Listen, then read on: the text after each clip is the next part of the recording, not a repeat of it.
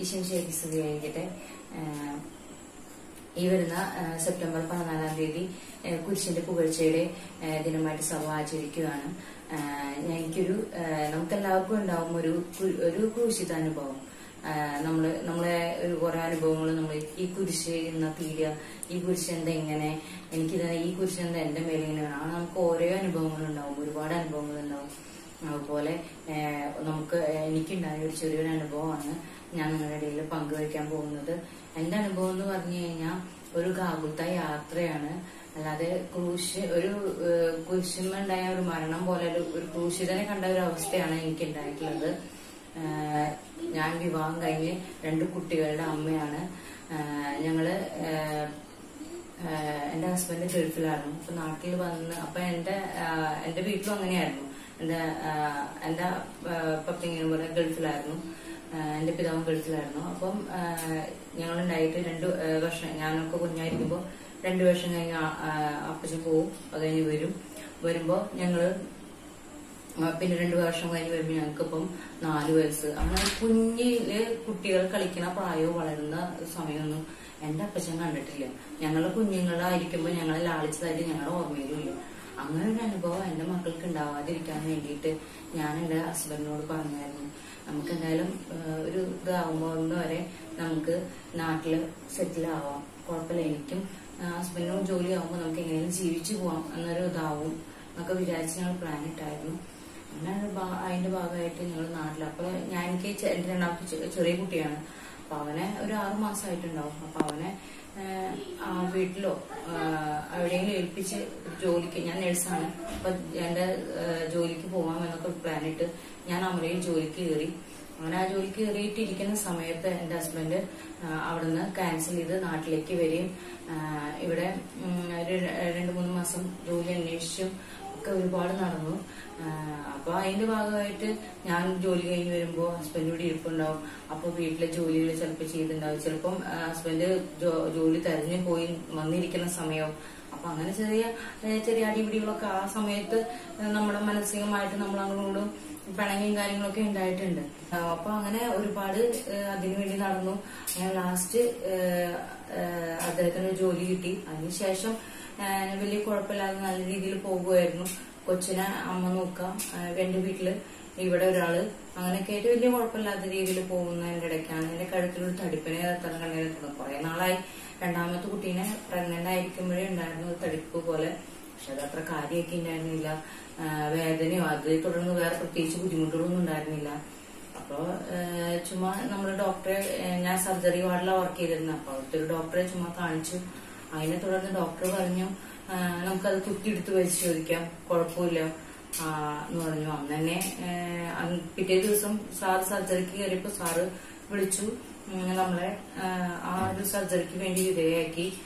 അതിനുശേഷം result wait ചെയ്തു. അപ്പോഴും സാറ് പറഞ്ഞു കുഴപ്പമൊന്നും ഉണ്ടാവില്ല. ചിലപ്പോ ടി ബിയുടെ ഇൻഫെക്ഷൻ കാരണമാണ് ആ ലിംഫിനോട് അവിടുത്തെ ആ ലിംഫിനോട് ലിംഫ് ഗ്രന്ഥിയുടെ വല്ല എൻലാർജ്മെന്റോ ഇൻഫെക്ഷൻ കാരണം ഉണ്ടായതൊക്കെ ആയിരിക്കാം. കുഴപ്പമുണ്ടാവില്ല എന്ന് പറഞ്ഞു സാറ്. ഞങ്ങളത് ഞാനത് വിശ്വസിച്ചു. അങ്ങനെ അത് കഴിഞ്ഞ് ഇരിക്കണ സമയത്ത് നമ്മൾ വിചാരിച്ചു ആ ഒന്നും ഒരു കുഴപ്പമുണ്ടാവില്ല. അത് ടി വിയുടെ ഗുളി കഴിച്ചു എന്നാലും വിഷമം ഉണ്ടായിരുന്നു കാരണം കുഞ്ഞു കുട്ടി അപ്പൊ അതിന്റെ ഇടയ്ക്ക് ഇനി അതിനെ മാറ്റി നിർത്തണം എന്നൊക്കെ വിചാരിച്ചു.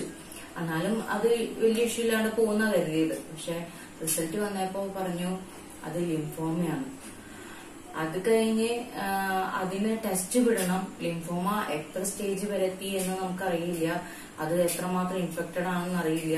അതിൽ ക്യാൻസറിന്റെ എത്രമാത്രം ഉണ്ട് ഏത് ടൈപ്പ് ക്യാൻസർ ആണെന്നൊക്കെ അറിയണമെന്ന് വെച്ചെങ്കിൽ ഒരു ടെസ്റ്റ് കൂടി ഉണ്ടെന്ന് പറയുന്നു. അപ്പൊ അതിൽ ഹോജ്കിൻസ് ഉണ്ട് നോൺ ഹോജ്കിൻസ് ഉണ്ട്. അപ്പൊ ഏതായാലും നമുക്ക് ബെറ്റർ ആവണേ നല്ല പെട്ടെന്ന് മാറണേന്ന് വിചാരിച്ചു. നല്ലതായി ഉണ്ടാവുള്ളൂ എന്ന് വിചാരിച്ചു. കാരണം അങ്ങനെ അത്ര വലിയ കേടില്ല എനിക്ക്. വെയിറ്റ് കുറച്ച് ലോസ് ആയിട്ടുണ്ട് എന്നല്ലാതെ വേറെ ബുദ്ധിമുട്ടുകളൊന്നും ഉണ്ടായിരുന്നില്ല. അങ്ങനെ അതിന്റെ റിസൾട്ട് നമ്മൾ വെയിറ്റ് ചെയ്തു. അങ്ങനെ കുറച്ച് കഴിഞ്ഞ് അവിടുന്ന് ഒരു ആഴ്ച കഴിഞ്ഞപ്പോ തന്നെ അഞ്ച് ദിവസം കഴിഞ്ഞപ്പോ തന്നെ അതിന്റെ റിസൾട്ട് കിട്ടി. അതിന്റെ റിസൾട്ട് കിട്ടിയപ്പോ പറഞ്ഞു ഏകദേശം വലിയ കുഴപ്പമില്ല. ഹോജ്കിൻസ് ലിംഫോമയാണ് ട്രീറ്റ്മെന്റ് ഉള്ളതാണ് കുഴപ്പമില്ല. കീമോ എടുത്താൽ മാറും എന്നൊക്കെയുള്ള ഒരു ഇത് വന്നു. പിന്നെ ഗൂഗിൾ ഉണ്ടല്ലോ നമ്മൾ അടിച്ചു നോക്കുക ഇതിനെ പറ്റി എന്തൊക്കെ എടുക്കുക അതൊക്കെ ചെയ്ത് നോക്കി. പക്ഷെ അത് വലിയ കുഴപ്പമില്ലാതെ പോയി. അത് കഴിഞ്ഞിട്ട് പറഞ്ഞു പെറ്റ് സ്കാൻ ചെയ്ത് നോക്കിയാൽ അറിയാം എത്ര എവിടെ വരെ സ്പ്രെഡ് ആയിട്ടുണ്ട് എന്ന് അറിയാമെന്ന് പറഞ്ഞു. അങ്ങനെ പെറ്റ് സ്കാൻ ചെയ്തതിനെ തുടർന്ന് പെറ്റ് സ്കാന്റെ റിസൾട്ട് വന്നപ്പോ പറഞ്ഞു ലങ്സിലുണ്ട് ലങ്സിന്റെ പരിസരത്തും ഉണ്ട് അബ്ഡോമനിലൊന്നും എത്തിയിട്ടില്ല. കുഴപ്പമില്ല. മാറാവുന്നുള്ളൂ സെക്കൻഡ് സ്റ്റേജ് എന്ന് പറയാന്ന് പറഞ്ഞു. പാശിച്ചു സെക്കൻഡ് സ്റ്റേജ് അല്ലേ? കുഴപ്പമില്ല. അബ്ഡോമനിലൊന്നും ഇല്ലല്ലോ. വേറെ ബുദ്ധിമുട്ടുകളൊന്നും ഇല്ലല്ലോ. അങ്ങനെ വിചാരിച്ചിരിക്കുമ്പോഴാണ് പറഞ്ഞത്. ക- ട്രീറ്റ്മെന്റ് ഇപ്പോഴും തുടങ്ങാനായിട്ടില്ല. ബോൺ മേരോ ചെയ്യണം. അതിന് ശേഷം ചെയ്യാൻ പറ്റുള്ളൂ.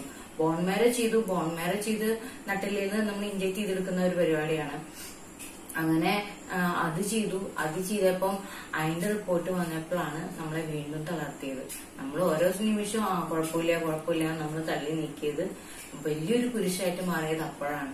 ബോണിലും കൂടി ഇൻവോൾവ് ആണ്. ഫോർത്ത് സ്റ്റേജിൽ നിന്നാണ് അപ്പൊ പറയുക ഒന്നുകിൽ ഇത് ബ്ലഡിലേക്ക് ഇൻവോൾവ് ആവും അല്ലെങ്കിൽ ബോണിലേക്ക് ഇൻവോൾവ് ആവും. അങ്ങനെ ആവുമ്പോൾ ഇത് ഫോർത്ത് സ്റ്റേജ് ആണെന്ന് പറഞ്ഞു. അപ്പൊ സാറ് പറഞ്ഞു ട്രീറ്റ്മെന്റ് ഇവിടെ എടുക്കുന്നതിൽ വളരെ ബുദ്ധിമുട്ടാണ് വേറെ ഒന്നും കൊണ്ടല്ല ചെറുപ്പമാണ് അപ്പൊ എന്തെങ്കിലും എന്തെങ്കിലും ഒരു ബുദ്ധിമുട്ട് എന്തെങ്കിലും പ്രശ്നം ഉണ്ടാവും ഒരു എന്തെങ്കിലും ഒരു ബോഡി പാർട്ടിനെ എഫക്ട് ചെയ്യും. കാരണം ബോഡിയിൽ ഇൻവോൾവ് ആകുമ്പോൾ ഒരുപാട് ഡോസ് എടുക്കും. അപ്പൊ അതൊരു ബുദ്ധിമുട്ടുണ്ടാവും എന്ന് പറഞ്ഞു ഡോക്ടർ. അപ്പൊ ഡോക്ടർ പറഞ്ഞു ഇവിടെ ഞങ്ങൾ ഇവിടെ ഞാൻ ചെയ്യില്ല. ഡോക്ടർക്ക് അതിനെ പറ്റിയുള്ള പേര് കൊണ്ട് എന്തോ ഡോക്ടർ പറഞ്ഞു ഇവിടെ ഞാൻ ചെയ്യില്ല. നിങ്ങൾ ആർ സി സിയിലേക്ക് പൊക്കോളാൻ പറഞ്ഞു. ആർ സി പോകുന്ന വരെ ഞങ്ങൾ ട്രീറ്റ്മെന്റ് പാടാന്ന് പറഞ്ഞു അപ്പൊ ശരിക്കും പേടിച്ചാ പോയത്. അവിടെ എത്തുന്നവരെയും പേടിയുണ്ടായിരുന്നു. എന്താ അവസ്ഥ എന്ന് നമുക്കറിയില്ലായിരുന്നു. അവിടെ ചെന്ന് അവിടുത്തെ ഡോക്ടർ നമുക്ക് പറഞ്ഞു. കുഴപ്പമില്ല അത് ക്യൂർ ആവും എന്ന് പറഞ്ഞപ്പോഴാണ് നമുക്ക് ജീവനിൽ പിന്നെ ജീവിക്കാനുള്ള ഒരു പ്രേരണയും ഉണ്ടായത്. അതിന് മുന്നേ നമ്മൾ ഒരു ജോലി ഇതാക്കാം റിസൈൻ ചെയ്യാം അന്ന് അങ്ങനെയൊക്കെ ആയിരുന്നു അങ്ങനെ ഞങ്ങൾ എന്റെ എന്റെ വാർഡിലുണ്ടായിരുന്ന ഇൻചാർജ് പറഞ്ഞു ജോലിയൊന്നും കളയാൻ നിൽക്കണ്ട. ഇ എസ് ഐ ലീവ് എടുത്താൽ മതി കുഴപ്പമൊന്നും ഉണ്ടാവില്ല. അങ്ങനെ നമ്മൾ ആശ്വസിപ്പിച്ചവർ കുറെ പേരുണ്ട്.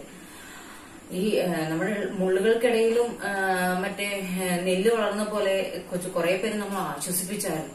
കുഴപ്പമില്ല ശരിയാവും എന്നൊക്കെ പറഞ്ഞ് നമ്മുടെ കൂടെ നിന്നവരുണ്ട്. അങ്ങനെ തുടർന്ന് നമ്മൾ ട്രീറ്റ്മെന്റിന് വേണ്ടി ഇവിടേക്ക് തന്നെ വീണ്ടും വന്നു. അവിടുന്ന് റെഫറൻസ് ചെയ്ത് വന്ന് നമ്മളിവിടെ നിന്ന് തുടർന്നു. ആദ്യത്തെ ഒരു നാല് സൈക്കിൾ കഴിയുന്ന രണ്ട് സൈക്കിൾ കഴിയുന്നവരെ നമ്മൾ ദിവസം ഉറങ്ങാതെ ഭയങ്കര കഷ്ടമായിരുന്നു. കാരണം ഇത് കംപ്ലീറ്റ് ആയി പോകുന്ന ഉറപ്പ് നമുക്ക് ഡോക്ടർ തന്നിട്ടുണ്ടായിരുന്നില്ല. ഇത് എത്രമാത്രം മരുന്ന് എങ്ങനെ എഫക്ട് ചെയ്യുന്ന അറിയില്ല. ഇത് കഴിഞ്ഞിട്ട് വേണം ഡോസ് കൂട്ടണമെങ്കിൽ കൂട്ടേണ്ടി വരും. ചിലപ്പോൾ ബോൺമേരോ ട്രാൻസ്പ്ലാന്റേഷൻ വേണ്ടി വരും പല രീതിയിലാണ് പറഞ്ഞത്. ഒന്നും ഉറപ്പ് നമുക്ക് തന്നിട്ടുണ്ടായിരുന്നില്ല. നമ്മൾ ധ്യാന കേന്ദ്രങ്ങളിൽ എല്ലായിടത്തും പോയി. രണ്ടു മൂന്ന് നമ്മുടെ കുർമാല ഇവിടെയൊക്കെ പോയായിരുന്നു. ഒരു ആശ്വാസത്തിന് വേണ്ടി ആരെങ്കിലും ഒരു വാക്ക് മാറും എന്നൊരു ആശ്വാസവാക്ക് പറയാൻ വേണ്ടിയിട്ട് നമ്മൾ പോയായിരുന്നു. ആദ്യത്തെ നാല് സൈക്കിൾ കഴിഞ്ഞപ്പോ നമുക്കൊരു സ്കാനിങ് ഉണ്ടെന്ന് പറഞ്ഞായിരുന്നു സ്കാനിങ് അപ്പൊ എന്തിനാന്ന് ചോദിച്ചപ്പോ ഡോക്ടർ പറഞ്ഞു പെറ്റ് സ്കാൻ മരുന്ന് എത്രമാത്രം ബോഡീനെ എഫക്ട് ചെയ്യുന്നുണ്ട് നോക്കാനായിട്ടാണെന്ന് പറഞ്ഞു. അപ്പൊ നമ്മൾ പിന്നെ ഉറക്കമില്ലാത്ത രാത്രിയായിരുന്നു. ഈ സംഗീതന പുസ്തകങ്ങളൊക്കെ പറഞ്ഞ പോലെ തലയണ കുതിരുന്ന സംഭവങ്ങളൊക്കെ അപ്പോഴുണ്ടായത് കരഞ്ഞ് എന്താ പറയാ ഉറക്കം കിട്ടില്ലേ രാത്രിയിൽ താഴെ കൊച്ചിന് ഒമ്പത് മാസം. മൂത്തതിന് അന്ന് ഒന്നേ മുക്കാൽ വയസ്സ്. എങ്ങാനും എനിക്ക് എന്തെങ്കിലും സംഭവിച്ചു കഴിഞ്ഞാൽ അവർക്ക് അമ്മാന്ന് പറഞ്ഞ ഓർമ്മയുണ്ടാവില്ല ഞാൻ എന്റെ മുഖേന്ന് ഓർമ്മ വേണ്ടേ? അങ്ങനെ ഒരു ഭാഗ്യം ഉണ്ടാവില്ല. അപ്പൊ അവന് അതാലോചിച്ചു പിന്നെ ഇവരുടെ ഞാൻ പോയി കഴിഞ്ഞാൽ ഇവരുടെ അവസ്ഥ എന്തായിരിക്കും? പിള്ളേര് വളർന്നു പറഞ്ഞ കാലമല്ലേ? അപ്പൊ ഇവരുടെ അവസ്ഥ എന്തായിരിക്കും? അങ്ങനെ കുറെ ബുദ്ധിമുട്ടുകൾ. അത് കഴിഞ്ഞ് ഹസ്ബൻഡ് ഞാൻ എന്റെ വീട്ടിലായിരുന്നു തുടർന്നിരുന്നത് അത് കഴിഞ്ഞ് ഹസ്ബൻഡ് ആഴ്ചയിൽ വരുമായിരുന്നു അപ്പൊ ആഴ്ചയിൽ വരുമ്പോ അപ്പോ എല്ലാ ദിവസവും അതിന് വർക്കാണ്. ആ ഒരു ഞായറാഴ്ച മാത്രമാണ് അതിന് ഒഴിവുണ്ടാവുക. അങ്ങനെ ഞായറാഴ്ചകളിൽ ചേട്ടൻ വരും. ചേട്ടൻ വരുമ്പം ഇവിടുന്ന് ചിലപ്പോ എന്നെ ഫേസ് ചെയ്യാനുള്ള ബുദ്ധിമുട്ട് കൊണ്ടോ വിഷമം കൊണ്ടോ ആൾ ഗവൺമെന്റിൽ പോയി കുറച്ചു നേരം ആരാധന കഴിഞ്ഞിട്ടാണ് വരാം. അപ്പൊ എനിക്ക് വന്ന ഇവിടുന്ന് കെട്ടടിക്കാനുള്ളത് എന്നിട്ടാന്ന് വെച്ച് കഴിഞ്ഞാൽ ശവപ്പെട്ടിയുടെ അളവെടുക്കുന്ന കാര്യങ്ങൾ ഏത് കളറേല വെക്കണ്ടേ എവിടെയാ വെക്കണ്ടേ അതൊക്കെ ഞാൻ ഡിസ്കസ് ചെയ്യാനുണ്ടാവാം. പക്ഷെ ചേട്ടൻ വരും ആൾക്ക് എത്ര വിഷമമുണ്ടെങ്കിലും ആളോട് വന്ന് നമുക്ക് സപ്പോർട്ട് ഉണ്ടായിരുന്നു. അങ്ങനെ ഒരു ദിവസം ഞങ്ങൾ ജെറുസലേമിൽ പോയി. ജെറുസലേമിൽ പട്ടത്തച്ഛനെ കാണാനായിട്ട് പോയി.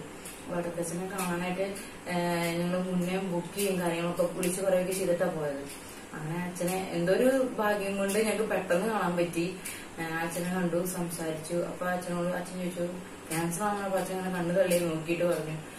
നിനക്ക് എവിടെയാ ക്യാൻസർ എന്താ നിനക്ക് കണ്ടേ ചോദിച്ചു. അപ്പൊ ഞങ്ങൾ ഇങ്ങനെ മുഴയാണ് കണ്ടേ. അപ്പൊ അച്ഛൻ കയ്യിൽ പൊട്ടിയിട്ട് മുട്ടിന്റെ അവിടെ കണ്ടിട്ട് പറഞ്ഞു ഇത് കണ്ടോ? എന്റെ കയ്യിൽ കണ്ടോ? മുഴ കണ്ടോ? ആ എന്നിട്ട് അതുപോലത്തെ രണ്ടു മൂന്നെണ്ണം തരത്തെ എവിടെയൊക്കെ ഉണ്ട്. ഒക്കെ ഉണ്ട്. എനിക്കൊരു കഴിവില്ലല്ലോ ഞാൻ പ്രാർത്ഥിക്കാം. എന്നുകൊണ്ട് തലയിൽ കൈ വെച്ച് പ്രാർത്ഥിച്ചിട്ട് പറഞ്ഞു എനിക്കൊരു കുഴപ്പമില്ല സ്കാൻ ചെയ്ത് നോക്കും. ഒരു കുഴപ്പമുണ്ടാവില്ല എന്ന് അച്ഛൻ അങ്ങനെ പറഞ്ഞെങ്കിൽ കൂടെ നമ്മൾ ഗൂഗിളിലൊക്കെ നോക്കിയതാണല്ലോ അപ്പൊ ചാൻസ് നമ്മൾ കണ്ട് വിശ്വസിച്ചവരാണല്ലോ. ഞാൻ തോമസ് ലീഗയുടെ ആ കൂട്ടത്തിൽ പെട്ടതാ. ഇനി ഞാൻ തൊട്ടേ വിശ്വസിക്കുന്നത് പോലെ ഞാൻ ഇങ്ങോട്ട് പോന്നു വീട്ടിൽ പോന്നു അങ്ങനെ വീട്ടിൽ വന്ന് പിറ്റേ ദിവസം പേടിച്ചിട്ടാ പോയത്. എന്തുണ്ടാവുമെന്ന് അറിയില്ല. കാരണം ഇത് കഴിഞ്ഞ് ബോൺ മാരോ ട്രാൻസ്പ്ലാന്റേഷൻ അതല്ലെങ്കിൽ വേറെ എന്തെങ്കിലും കൂടിയ എന്തെങ്കിലും ഡോസ് ചെയ്യേണ്ടി വരും. അങ്ങനെയാണെങ്കിൽ പറഞ്ഞ പോലെ എന്തെങ്കിലും വൈകല്യങ്ങൾ ഉണ്ടാവാൻ ചാൻസ് ഉണ്ട്. അപ്പൊ അതൊക്കെ പ്രതീക്ഷിച്ചാ പോയത്. പക്ഷെ ആ സ്കാനിങ് റിസൾട്ട് പിറ്റേ ദിവസം വരെ നമ്മൾ വെയിറ്റ് ചെയ്യണം. അങ്ങനെ വെയിറ്റ് ചെയ്ത് ആ റിസൾട്ട് റിപ്പോർട്ട് കിട്ടിയപ്പോ പറഞ്ഞു മുമ്പ് ഉണ്ടായിരുന്ന സ്കാനിങ്ങിൽ ഉണ്ടായിരുന്ന തീപ്പന്തം പോലെ കത്തി നിൽക്കുമായിരുന്നു അതിലൊക്കെ. ആ സെല്ലുകൾ ക്യാൻസർ സെല്ലുകളൊക്കെ ബാധിച്ച ഭാഗങ്ങളൊക്കെ. അതൊക്കെ പോയിരിക്കുന്നു ആ നാല് സൈക്കിളിനോട് കൂടിയിട്ട് പിറ്റേ ആ നാല് സൈക്കിൾ രണ്ട് സൈക്കിളാണ് നാല് ആഴ്ചയിൽ പതിനഞ്ച് ദിവസം കൂടുമ്പോഴായിരുന്നു അതിന് നാല് കീമോനെ രണ്ട് സൈക്കിൾ എന്നാ പറയുന്നത്. ആ രണ്ട് സൈക്കിൾ കഴിഞ്ഞോട് കൂടിയിട്ട് നമ്മൾ എല്ലാം പോയിരുന്നു സാറും പറഞ്ഞു പെട്ടെന്ന് വരുന്ന റിയാക്ട് ചെയ്തിട്ടുണ്ട് ഒരു കുഴപ്പമില്ല ഇത് വെള്ളമൊക്കെ പോയി. പക്ഷെ നമുക്ക് കീമോ സൈക്കിൾ കംപ്ലീറ്റ് ചെയ്യണം. നമ്മൾ ആന്റിബയോട്ടിക് ഇത്ര ഡോസ് കഴിക്കണം എന്ന് പറഞ്ഞ പോലെ ഇത് സൈക്കിൾ കംപ്ലീറ്റ് ചെയ്യണം. അങ്ങനെ ആറ് ഗെയിം ആറ് സൈക്കിൾ പന്ത്രണ്ട് ഗെയിമാണ് നമുക്ക് ചെയ്യേണ്ടത് അപ്പൊ അത് കംപ്ലീറ്റ് ചെയ്തേ പറ്റൂ എന്ന് പറഞ്ഞു. പക്ഷെ അതുവരെ ഒരു പ്രതീക്ഷയിലാണ് എന്റെ ജീവിതത്തിൽ വലിയൊരു കുരിശ് തന്ന ദൈവം അതൊരു ചാട്ടമാറയടിയേറ്റ ഒരു വീണ ഒരു വീഴ്ചയിൽ ഒതുക്കി തമ്പുരാൻ എന്റെ കയ്യിൽ തന്നിട്ടുണ്ട്. അതുപോലെ കുരിശുകളായിട്ട് പലരും വന്നിട്ടുണ്ട്.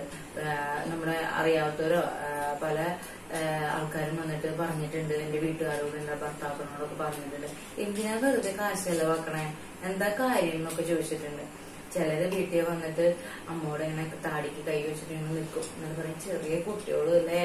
അപ്പോഴേക്കും അമ്മ കരഞ്ഞോടൊന്നും ഇവിടെ ഇരുന്ന് ഞാനും കരയും. അങ്ങനെയൊക്കെ കുറെ സാഹചര്യങ്ങളുണ്ട് ഉണ്ടായിട്ടുണ്ട്. നമ്മുടെ ജീവിതത്തിൽ ഒരുപാട് തിക്തമായ അനുഭവങ്ങൾ ഉണ്ടാവും. അതൊക്കെ നമ്മുടെ ജീവിതത്തിലുള്ള ഒരു ഗാബുട്ട യാത്രയിൽ ഒരു ഗാബുട്ട യാത്രയാണ് നമ്മുടെ ജീവിതം. ക്രൂശിതനെ മുന്നിൽ കണ്ടുകൊണ്ട് ജീവിക്കാനും കുരിശിലാണ് വിജയം കുരിശിലാണ് രക്ഷ കുരിശാണ് സഹനം എന്ന് മനസ്സിലാക്കിക്കൊണ്ട് ക്രൂശിതനെ അനുഗമിച്ച് ജീവിക്കാൻ നമുക്ക് ദൈവശക്തി തരട്ടെ എന്ന് പ്രാർത്ഥിച്ചുകൊണ്ട്